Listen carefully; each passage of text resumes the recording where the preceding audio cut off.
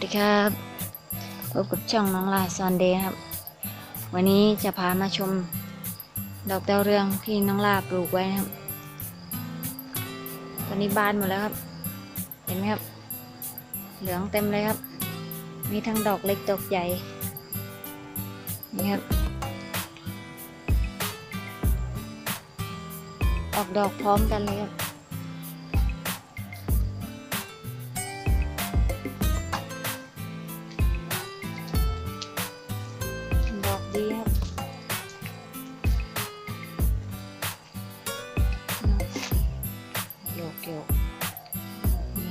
อกใหญ่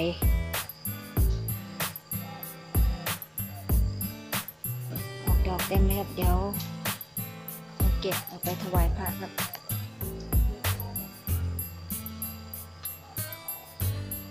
ดอกงามเลย ชุดนี้ ชุดนี้ยังไม่ออกครับกำลังเป็น นี่กำลังเป็นดอก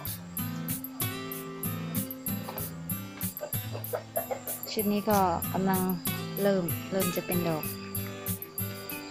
ใหญ่ๆก็มีดอกเล็กก็มี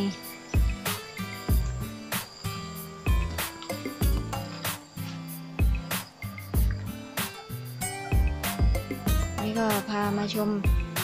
ดอกดาวเรืองที่น้องลาปลูกนะครับใครที่เอาดอกไม้ไปบูชาพระนะครับ ถ้ามันเหี่ยวแห้งแล้วอย่าทิ้งนะครับ ลองเอามาหวานดูครับ จะได้ผลแบบนี้ครับ เราไม่ต้องไปซื้อดอกไม้ครับ เวลาเราจะไปวัดทำบุญเราก็เด็ดเอาดอกดาวเรืองเราไปไหว้พระได้ครับเอาวันนี้ก็เอาความสวยของดอกดาวเรือง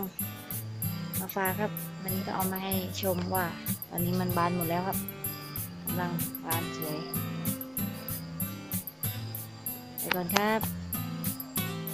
พบกันใหม่คลิปหน้าครับ สวัสดีครับ